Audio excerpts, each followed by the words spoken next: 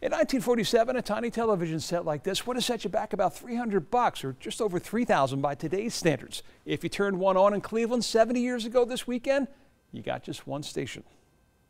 This is television station WEWS, your Scripps Howard station, first in Cleveland. The first in Cleveland slogan fit News 5 on a number of fronts. First television station in Ohio, yes, but first because there wasn't a lot of programming out there in the beginning, so we kind of had to come up with our own, which led to local shows like the first full credit college courses taught on television. Dorothy Fuldheim playing a pivotal role over those first few decades, leading up to her program, The One O'Clock Club. Sam was telling me in the book, he describes his wife as one third Italian, one third Irish, and one third lie detector.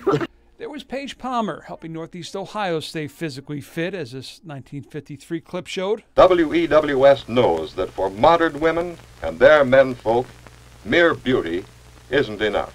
Exercising the minds of a younger audience was the pre Sesame Street goal of Romper Room and Miss Barbara's Magic Mirror. I see Gordon and Diana and David and Philip. The Gene Carroll show spanned the early decades, bringing a variety of entertainment, local to national.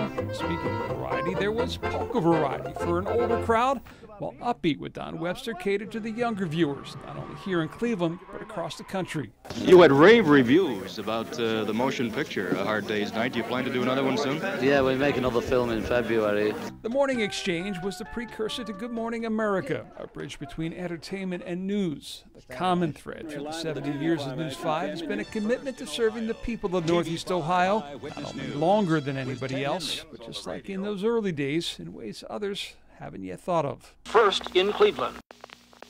And I think I can safely guarantee that that's the only place you're going to hear the word menfolk used in a story today. Happy birthday, Woos. I'm John Kosich. Enjoy your Sunday.